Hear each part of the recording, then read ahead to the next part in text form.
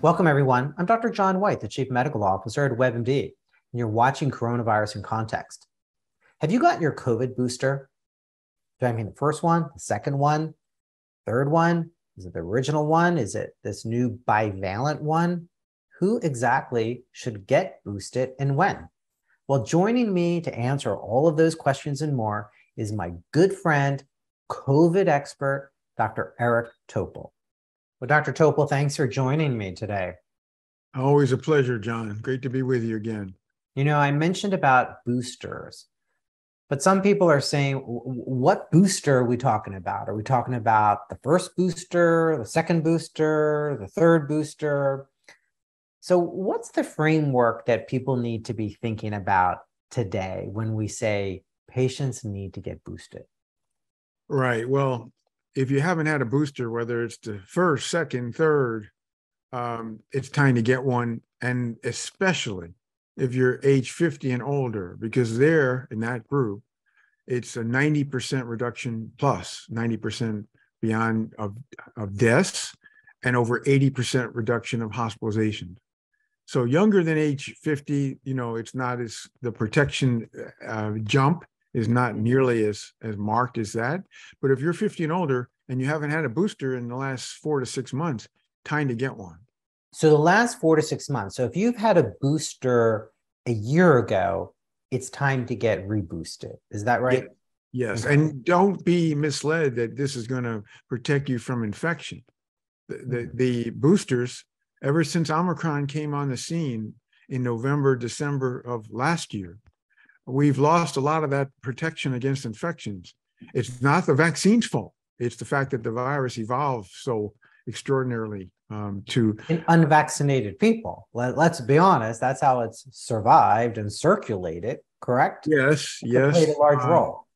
We never got control or containment around the world, and the, the virus kept evolving as a result of that.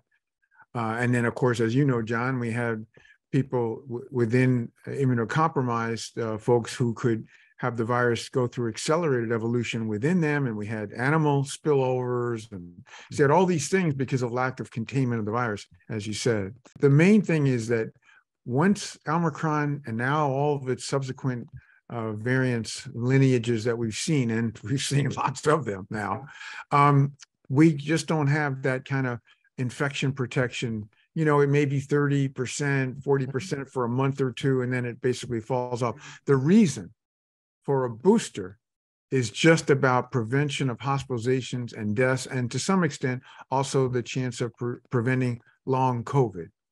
Dr. Topol, I want to ask you some questions that we've been getting at WebMD. So I'm going straight to the source of all knowledge of COVID. And if you could help answer it, for people. And, and, and the first question is around what do we mean by bivalent and how is it different than the previous ones? When the booster in September, early September, was released in the United States, uh, the new booster, so called bivalent, it had a half and half recipe. Half of the uh, uh, booster was uh, directed against the BA5 spike, and half was the same as the original. So that bivalent means it had two, uh, it was directed to two different spike proteins of the virus. What about these new variants that are coming out? Have you heard people have been calling them the Scrabble variants because they have letters that have high scores? X, you know, uh, Q. Have you heard that? That that's what they. Yeah, no, that's my friend Peter Hotez who came yeah. up with the Scrabble. Yeah. But you know, so what about uh, these new variants? Is it protecting against these new variants? That's what people want to know, Dr. Topol. I know. I'm with you. Um, the two most worrisome are BQ1.1 and XBB. And we've learned a lot about these two. Uh, they're also picking up new mutations. So it's not just BQ1.1. Now there's BQ1.1.10 and XBB.1 or XBB.4. So basically these the, the, the virus is going through pretty rapid add-on mutation evolution. Now, there is only one country that suffered a wave, a new wave from one of these two most worrisome variants. That was Singapore. but it actually handled it quite well. Now, Singapore is one of the most vaccinated and boosted countries in the world, and they had a wave, but not much in the way of hospitalizations or deaths. So they weathered it. No other country uh, in India and Bangladesh, they have a lot of XBB, but they didn't have any wave at all. And as far as the BQ 1.1, the worst country in the world for the um, most growth of that is France, and it's looking quite good right now. Basically, there's some ray of hope here, John, that even though these variants look terrible in the lab with lots of immune escape, more than we've ever seen, what we're seeing in people doesn't yet correlate with that level of you know deep concern. In a few weeks, we'll know because the US is less protected. We have a much lower booster rate, particularly of our uh, older folks here compared to these other countries like France or Singapore or you, you name the country. We're we're in a poor shape for boosters, but on the other hand, we have a very high prior infection rate particularly with Omicron and all of its variants. What about the fact that a lot of people got COVID this summer? They're wondering, okay, Dr. Topol, they might be open to the idea of getting a booster, but when do they get it done, recognizing immunity wanes in a lot of areas of the country? 90, almost 90% of counties are in low transmission. So it depends where you live. How do they factor into that timing? They don't want to get it too soon, but they don't want to get it too late. Is now the time to get it? Yeah, I go back to that. If you had a BA5 infection, which was the summer uh, wave, um, and it was quite uh, prevalent, it, and you are now beyond three months from that infection, which, hey, it's November now, right? It's time to get a booster, particularly if you're age 50 and older, because it will help against any new variant boosters just basically rev up our immune system for uh, several months, you know, four to six months. So that's why I recommend if you're 50 and over um, and you're past three months from that summer infection, which likely you are, get it because you'll benefit from it. You'll get an extra layer of protection. And by the way, just today, John, was an important paper in Science Immunology that basically showed it's the neutralizing antibodies that are tied to boosters and that's, of course, what in, in people who are at risk, the aged, that's what is giving them this durable protection. It doesn't come from the pr- primary vaccines. That difference is related to getting our antibodies amped up. How long do you wait after a, you know a previous infection with COVID? Is it three months? Three months. months? Three months. Yeah. I mean, I think the data. That's somewhat an art, to be fair, isn't it? Well, no, if, if you go too early, it's not good. And we have some data within two months, it's not a good idea. Um, Dr. But, Topol, what if they say, well, that's their booster, so they don't need another one? Because we hear that a lot. Yeah. Yeah. Well, a lot of by default, since the booster uptake is so poor in this mm-hmm. country, since the why is it so poor? It is. I mean, yeah. in the current one, some areas of the country, you know, it's single digits. Yeah. Yeah. Well, we only have for the over age 65, 20%. And for over 50, you know, it's less than 15% total. The highest risk, 85% of the people now are past four, six months and haven't had a booster. And they're sitting ducks for potential trouble. So over 50, they you say they definitely get the bivalent vaccine. And if you're over 18 and you haven't gotten any, or is it over 12? If you're over 18 and you're past six months from when you got your primary shot, get it. Uh, get, get a boost.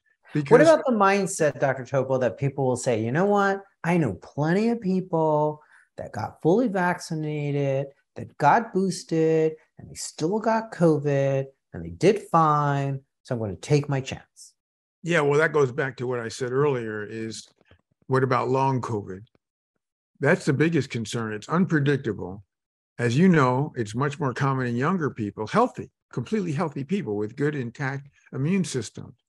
So you just don't want to take that chance. The booster will reduce that 30 to 50% as best we know from all the data that's out there. So that's a reason to get it. Now, I I, I don't say it's, you know, it shouldn't be mandated. I'm just saying these are the data. You make a decision. but I don't think there's any question that when you get to advanced age groups, you know, it's it's a big deal. Younger than 50, there's you know there's different issues at stake here. But if you never got a boost and you're you're relying on those two shots, um, that's a problem. I mean, I think you you are going to be.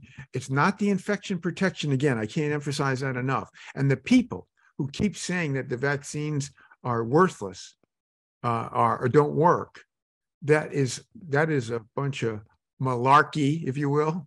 The reason um, I say that is because, yeah, they don't do the infection protection like we saw up through Delta, but that's not the vaccine's fault. It's because the virus evolved, and luckily, we still have protection that is afforded against hospitalizations and deaths and long COVID. So let's take advantage of that. Are they going to need to be boosted every four months. Yeah, no, I, I there's no way I want to be part of that program as I reviewed, nor do I wish that on anybody because, you know, getting a shot every four to six months, particularly since that's a, there's a lot of reactions there, and you know, it it becomes uh, untenable as a strategy. What's late fall and early winter going to look like? So right now we're kind of consumed with RSV. We're yeah. starting to see more influenza, particularly in the southeast. But what are we going to see relating to COVID? What, what, what's your prediction? Well, I'm a little optimistic. The reason I say that is um, even though the new variants, as we talked about, XBB, BQ 1.1, which is in the US especially, growing quickly, mm-hmm. the lab looks, results look really scary. But the people results so far around the world don't correlate yet. And if that continues in the next few weeks, that's really great. And yeah, we'll have some increase because of behavior and uh, the waning of immunity. People that don't get their boosters, you know, not, lack of any mitigation, we'll see, you know, a little uh, bump in, in cases and hospitalizations and deaths, especially in the people of advanced age.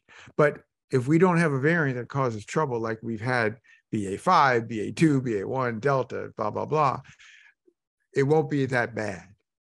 But the thing we can do right now is don't have waning immunity. We have a tool for that. And we should be getting boosted as you Yeah, I mean, out. that's our best shot.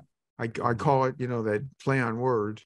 The best shot to get through the winter, the rest of the fall and winter, is to be as protected as you can. And that's why if you, you know, if you get a booster, that's as good as you can do against severe illness or long COVID protection. There you have it from the expert.